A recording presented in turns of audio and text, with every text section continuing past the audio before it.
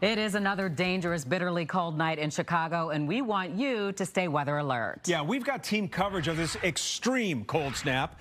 From places to stay warm to trouble on the ground and at both airports. And we begin tonight with Chief Meteorologist Emily Wahls. Yeah, our wind chill temperatures right now ranging for most of us between 15 and about 25 degrees below zero. Actual air temperatures at this hour hovering just a couple of degrees below zero for most areas. This is the alerts that we are uh, dealing with here. So all locations that you see here highlighted in this grayish purple color across most of northeastern Illinois. That's a wind chill warning that expires tomorrow at noon, but then that's going to be replaced by a wind chill advisory afternoon, taking us all the way into our day on Wednesday. Same goes for the south suburbs, northwest Indiana, wind chill advisory remaining in effect until 9 a.m. on Wednesday. So we are far from over when it's coming to the cold conditions. Warnings, advisories through Wednesday morning, blowing and drifting snow in open areas tonight, but especially tomorrow.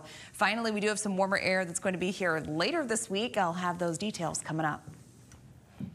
Well, one of the most challenging things to do in all of this is stay warm, even if you're outside for just seconds. Yeah, now warming centers are open and people are being urged just stay inside. Our Nate Rogers keeping warm tonight with more on how your day tomorrow will be impacted. Nate. Yeah, absolutely, Don and Scott. Right now, we are inside New Life Covenant Church here in Humboldt Park, where they're giving folks um, a bite to eat, but most importantly, a break from the dangerous cold. Earlier today, my photographers and I, we were out and about, mainly downtown, just folks talking to folks that were working in the cold, also commuting in the cold. Truly was a brutal day.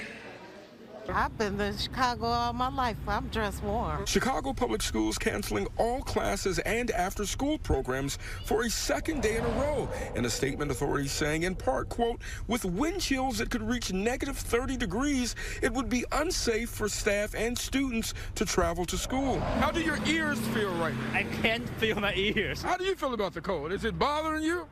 Um. I can't feel my toes right now, so a mm. little bit, yeah. Early afternoon, we saw many folks in and out of this Jewel Osco along North Clark Street, some picking up essentials, others hanging out in the vestibule for relief from the bitter cold. And then for you with two coats, I mean, what is it? If, if this one doesn't work, you're going to put on this one? You know, just have to have a backup at all times. it's the type of weather where any skin exposed, even for a short period of time, can result in frostbite. The city of Chicago activating its emergency operation plan through through Wednesday, several warming centers, including the Harold Washington Library, open 24 7. I'm under so many layers, I feel like a quarter of it. By sundown, you could see steam rising from underground about a block away here on North Bobian Court. Eric Sturgeon still needing to make some cash, spending a great deal of time on his bicycle delivering food in the elements. What's been your strategies from getting just to get through the bitter weather? Layers, um, making sure you stay in warm buildings longer than you're out here. And back out here live, as you can see, um, folks still able to get a hot bite of food, um, a hot plate of food, I should say. They also got about 40 cots set up with blankets um, and some heaters in here as well. Now, this is just one of the many warming centers. Again, this one taking place um, at the New Life Covenant Church here in Humboldt Park, where they say they plan to be open from 7 p.m. till 7 a.m. Um, for folks to rest and stay the night. Now, for a list of other warming centers and other places that folks are able to go get a relief from the cold. You can go to our website at fox32chicago.com. Don't forget to stay safe and stay warm out there. In Humboldt Park, I'm Nate Rogers, Fox 32 Chicago. I'm Kasey Chronis at O'Hare, where the extreme cold is causing some operations to grind to a halt. At least 370 flights in and out of O'Hare have already been canceled, with more than 850 delayed. Midway is also seeing more cancellations and delays than usual, leaving some customers to brace for turbulence.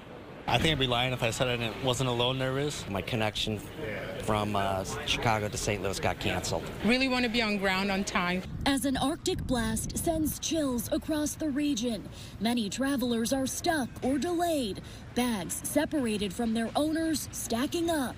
We're on time. That's the surprise. Others lucky to get off the ground on time. Can't get out of here fast enough, quite honestly. We're going to Punta Cana So about an 80 degree difference. When temperatures are this extreme, flying itself isn't the issue, but preparing a plane for flight can be.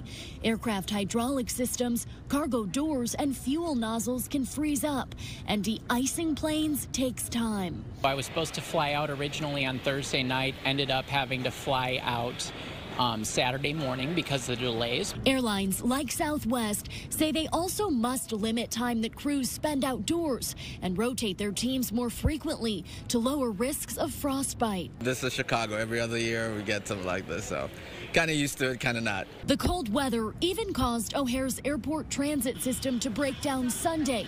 Service has since been restored, but officials say they will continue to provide supplemental shuttle buses as needed over the coming days. Some customers tell us it has helped cut wait times by rebooking canceled flights directly on their airline's mobile app.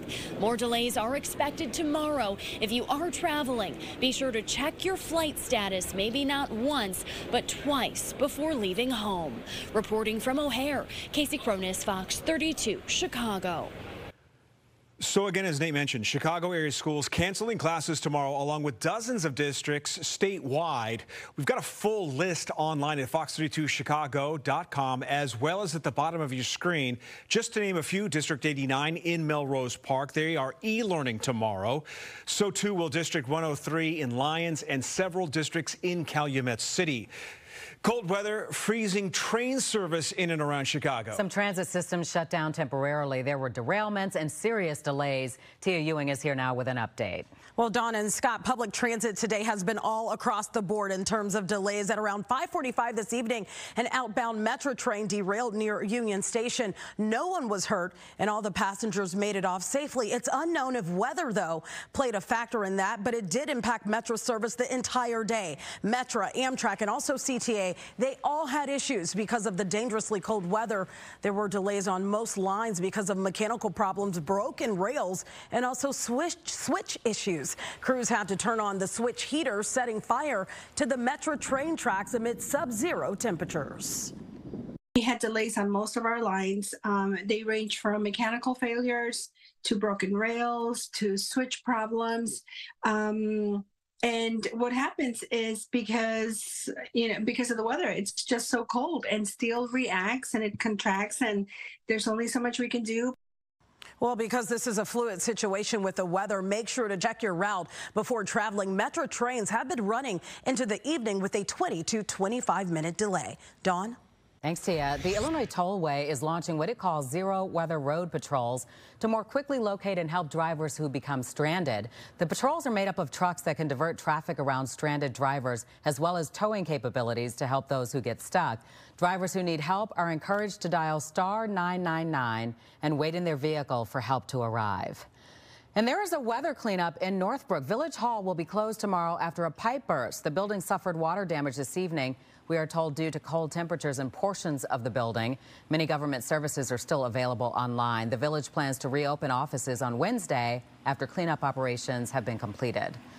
And some steps to keep your pipes from freezing. Wrap exposed pipes in unheated areas. Let faucets drip. Open cabinets under sinks to keep warm air circulating around your pipes. And outside, make sure hoses are disconnected for the winter. Although if you haven't done that already, it may be too late.